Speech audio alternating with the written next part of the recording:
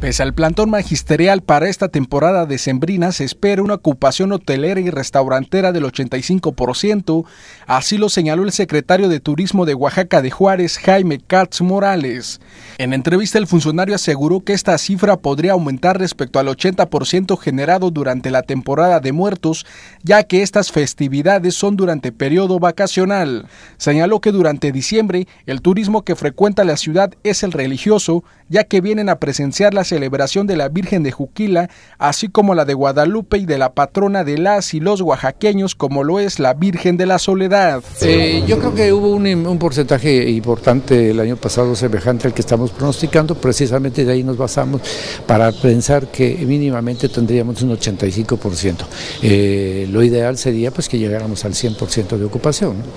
Ya los hoteles están preparados en sus diferentes organizaciones, los hoteles, los restaurantes, los sistemas de transporte, los guías de turistas, todo esto ya está este, preparado para recibir el turismo y por nuestra parte en el ayuntamiento pues ya en estos días vamos a iniciar lo que es el operativo para recibir a los visitantes. Además indicó que las calendas, las posadas, así como la noche de rábanos son las actividades que vienen a armonizar la ciudad en esta temporada navideña, por lo cual confió que durante estas vacaciones turismo nacional, así como internacional, puedan presenciar y disfrutar de las actividades que ofrece la ciudad, pese a las amenazas y el plantón que mantiene la sección 22 de la Coordinadora Nacional de Trabajadores de la Educación. Que por encima de todo este tipo de cosas prevalezca el ánimo de estas fiestas en cada uno de los oaxaqueños, así lo hemos tenido a lo largo de toda nuestra historia, nunca en la vida de Oaxaca en más de ciento y tantos años se ha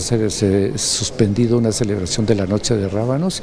y pues en esta ocasión este, creo que todo está en las condiciones dadas para que pueda eh, llevarse a cabo de la mejor manera. Nuestra petición a todo el mundo pues, es que hagamos una tregua en, nuestros reclamos y nos sumemos a la celebración de Oaxaca que representa la oportunidad de bienestar económico para todos los oaxaqueños y para todos los niveles. Con imágenes de José Antonio Reyes informó para MBM Televisión Irán Sánchez.